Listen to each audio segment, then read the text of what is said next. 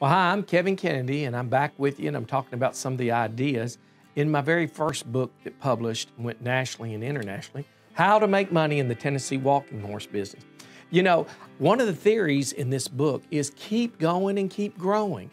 Little did I know that when I published this book, it would open doors. They always do. You never know what kind of doors will be open if you will try.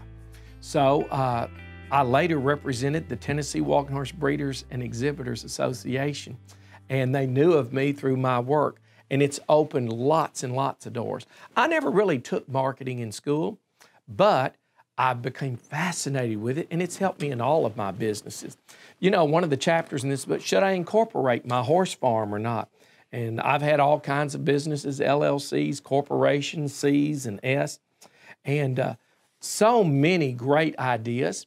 One of the other ideas that was incorporated in here was have fun, have promotions, enjoy your work. And that was always wonderful.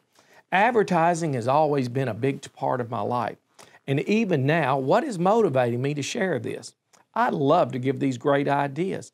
There's nothing that makes me happier than others achieving the American dream success. And so, writing books I always encourage it. You know, I've had it said over the years, well, Kevin, I don't have the money to publish a book, nor did I. And others say, well, I really don't have the time to write a book, nor did I. Well, then how did you do it? One of the things when I would go and uh, drive to Nashville, I would take a little tape recorder. Other people didn't know this. I created, and I would just start talking, and I put my ideas down. And then, of course, I always had a team help me with the publication of my books. I had editors and writers and transcribers, and we went to work. And I loved advertising. I was always creative. And this is one of the fascinating things. I call it SOS, the 10 steps to success. Now, you'll see lots and lots of books over my lifetime. So these are the seven steps to success, and these are the steps to success. Well, when I wrote this book, I had not seen these other men's work. But, so let's just look at them really briefly. This is what came out. Number one, motivate yourself. I really believe God revealed these ideas to me. In every one of Kevin Kennedy's published books, they all carry the 10 steps to success because I believe in them and they are great. And you, you don't have to have someone prod you to get up and write. And I'll say this write it, it will open doors for you if you say, I can't do it, I can't do it, you know, Henry Ford is the man that said, if you come back and you say, I can't do it or I can do it, you're already right. So I say, pursue it, get your manuscripts ready, and uh, you'll see your day come. Be a leader. We can always be a follower, but there's times that you've got to step out and be a leader. You feel the responsibility. Don't be scared to invest. You know, when I went started, of course, we had no resources. And that's a nice way to say you had no money.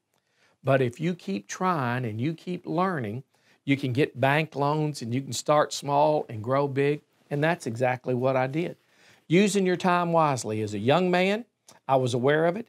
As a mature man, I'm very aware of it. That's why I'm doing these videos to make my time and my message real to a lot of people. I want you to believe in number five that you can make a difference. You'll make a difference in your life, in your community, in your church. Number six was set goals and make priorities. I believe in setting goals. There is no doubt you should have a goals program, personal, business, financial, and then make the priorities. What do I have to do today? Number seven, be honest in your dealings. One of the things everybody will learn what kind of man is he? I hope that you'll be honest in your dealings. Number eight, listen to others and always make your own decisions.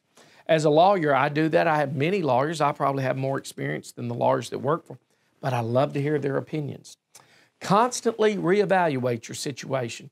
Where are we today? Do we have two horses? Through this book, I got up to 108 horses. My goal was 100. I broke the goal. I've been big on goals my whole life. Set the goal and break the goal. And I've done it in many businesses.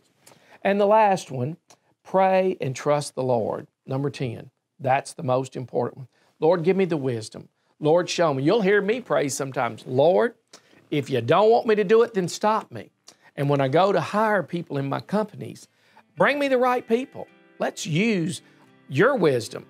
And, uh, you know, one of the great things about uh, praying and trust the Lord, there's a part of this world that's supernatural you'll never be able to explain. How some people's business explode and you get ideas that were very creative. Well, I hope that you'll enjoy this book. Read it cover to cover. There's some great ideas. I know it'll help your life. God bless you, and I'm Kevin Kennedy.